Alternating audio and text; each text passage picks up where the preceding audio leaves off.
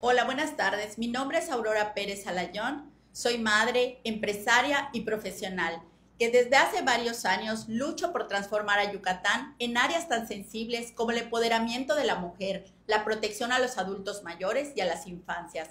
No pertenezco a ningún partido político y desde varias trincheras, incluyendo el área académica, hemos sostenido nuestro compromiso con los ciudadanos y por ello fui invitada a participar por Rommel Pacheco Marrufo para ser regidora en el próximo Cabildo Meridano. Hoy quiero informarles que he renunciado formalmente a esta candidatura. Ya desde hace varios meses he sido testigo de que el proyecto de Rommel se ha alejado de los principios y objetivos que se nos presentaron en un inicio.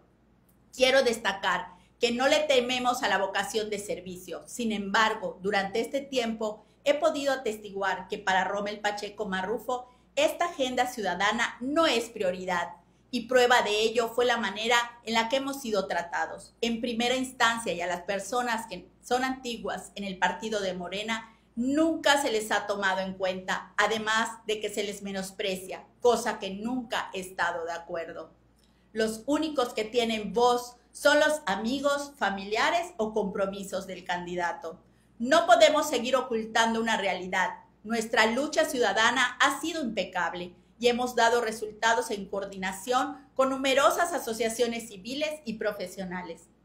El trabajo con los ciudadanos ha dado resultados y nuestro testimonio lo confirma, por lo que no puedo seguir apoyando a un equipo que va en contra de mis principios, que están pensando cómo beneficiarse ellos mismos y a su familia, que no valoran el trabajo de su equipo, al cual tratan como peones. No podemos estar de acuerdo en que no se privilegie el trabajo a favor de las mujeres, los adultos mayores y los niños, y se pretenda dar una cara a los ciudadanos y las organizaciones profesionales que nos dedicamos a esta labor, cuando la realidad que impera en su campaña es otra. No podemos aceptar proyectos que le mientan a la ciudadanía para obtener sus beneficios personales. Y tristemente, lo mismo sucede en el proyecto a la gubernatura de Joaquín Díaz Mena, de quien recibí un buen trato, pero grande fue mi sorpresa al ver quiénes eran parte de su equipo, a quienes dominan todo lo que se hace, se imponen y no dejan espacio para las ideas ciudadanas en beneficio de las personas vulnerables, ya que ellos traen un modelo anterior y eso es lo que quieren que prevalezca.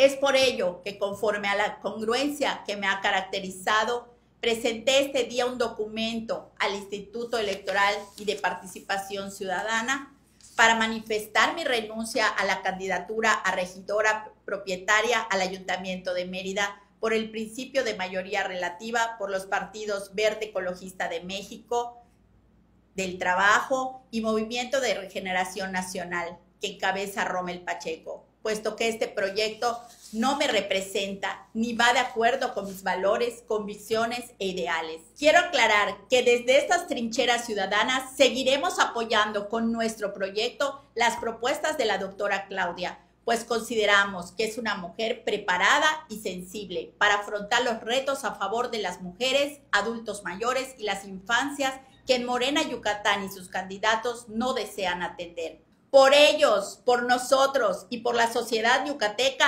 decimos no a la simulación y sí al empoderamiento de los ciudadanos. Muchas gracias.